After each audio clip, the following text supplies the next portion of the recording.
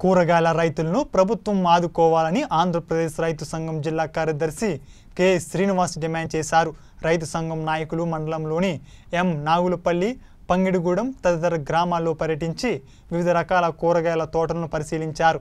కూరగాయల రైతుల సమస్యలను అడిగి తెలుసుకున్నారు. ఈ సందర్భంగా కె. శ్రీనివాస్ మాట్లాడుతూ ఎంతో కష్టపడి కూరగాయలు పండిస్తున్న రైతులకు కనీస ధరలు కూడా రాక నష్టపోతున్నారని ఆందోళన వ్యక్తం చేశారు. కేరళ ప్రభుత్వం వల్లే మన రాష్ట్ర ప్రభుత్వం కూడా కూరగాయలకు కనీస ధరలను ప్రకటించి ఆ ధరలు రైతులకు అందేలా చర్యలు చేపట్టాలని కోరారు. రైతులు అధిక వడ్డీలకు ప్రైవేట్ అప్పులు తెచ్చి కూరగాయలు సాగు చేస్తున్నారని అన్నారు. కూరగాయల రైతులకు బ్యాంకుల ద్వారా వడ్డీ లేని పంట రుణాలు అందించాలని డిమాండ్ చేశారు. సబ్సిడీపై విత్తనాలు ఎరువులు పురుగు మందులు ఇవ్వాలన్నారు. సబ్సిడీపై డ్రిప్ ఇరిగేషన్ పథకం అమలు చేయాలని కోరారు. కె. శ్రీనివాస్ ఆంధ్రప్రదేశ్ రైతు సంఘం పశ్చిమ గోదావరి జిల్లా కార్యదర్శి. ఈరోజు ఈరోజు ద్వారకాత్రుల మండలం యమనాగులపల్లి మత్తెవారిగూడెం పంగిడిగూడెం తదితర గ్రామాల్లో కూరగాయల రైతుల సమస్యలని పరిష్కరి పరిశీలించడం కోసం ఇవాళ కూరగాయల తోటలు పరిశీలించడం జరిగింది.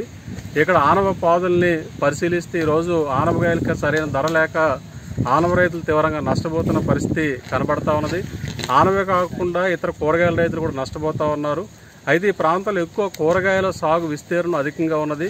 ఏటా కూడా కూరగాయల రైతులు ఈ ఈ రోజు నష్టపోతున్న పరిస్థితి కనపడతా ఉంది. మరి ఇట్లాంటి పరిస్థితుల్లో కూరగాయల రైతులకి కనీసమైన ధర కల్పించి ఇవాళ ప్రభుత్వం ఆదుకోవాలని చెప్పేసి విజ్ఞప్తి చేస్తా ఉన్నాం. అట్లాగే ఇవాళ దొండ పందిళ్ళకి ఇవ్వాల్సిన పందిళ్ళ సబ్సిడీ బకాయిలు ఈరోజు కూడా రాష్ట్ర ప్రభుత్వం ఇవ్వలేదు. దొండ రైతులు తీవ్ర ఇబ్బందులు పడతా ఉన్నారు. అప్పులు చేసి పందిళ్ళు వేశారు.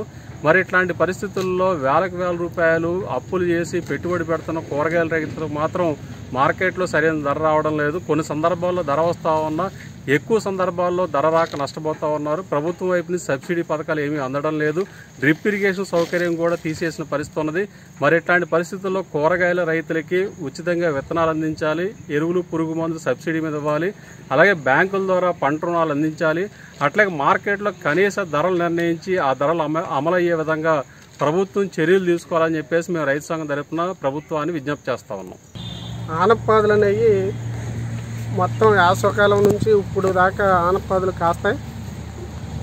కానీ పెట్టిన కాడి నుంచి కోత ఎప్పుడైతే ప్రారంభమైందో ప్రారంభమైన కాడి నుంచి కూడా ఈ రోజు కూడా ఐదు ఆరు రూపాయలు మించి అమ్మట్లేదు.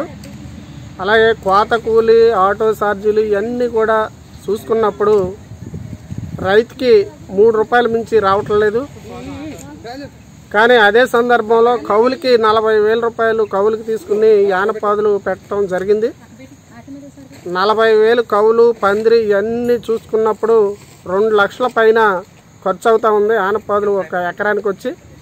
కానీ ఈరోజు కూలీలకి ఆటో ఖర్చులకి కూడా రాకుండా రోజువారీ రైతుకి ఏదైతే ఎరువులు ఏదైతే నీళ్ళు పెడుతున్నాడో ఆ ఖర్చులు కూడా రాని పరిస్థితి ఏర్పడుతూ ఉంది.